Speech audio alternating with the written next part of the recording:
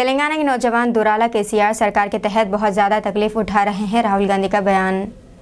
राहुल गांधी ने कहा है कि मेरे हालिया दौरे अशोकनगर हैदराबाद ने इस बात को वाजे कर दिया है कि हमारा जॉब कैलेंडर इनके दर्द को कम करने का पहला कदम है, जिसको हम यकीनी बनाएँगे। पहला, एक साल में दो लाख सरकारी नौकरियाँ, दूसरा, यूपीएससी खतूत पर टीपीएससी की असलाह।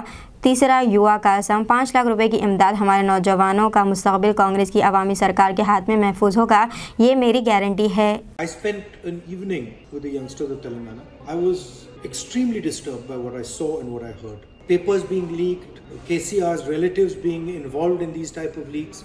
I mean, it's completely shameful. Youngsters who've been studying, putting their own money, their parents' money, and then finding that they simply cannot get a job. And it's something that we absolutely have to change. That's why our first step is going to be helping the students with government jobs, helping them with their education. We have released a detailed job calendar for 2 lakh government jobs in the first year of our government. We'll also revamp TPSC on the lines of UPSC and as part of the Yuva Vikasam guarantee, we will provide Vidya Bharosa cards of up to rupees 5 lakhs as financial assistance for educational related expenses, college, university and coaching fees. That's our first step with regards to the youngsters of Telangana. And we are committed to fulfill the guarantees that I have stated.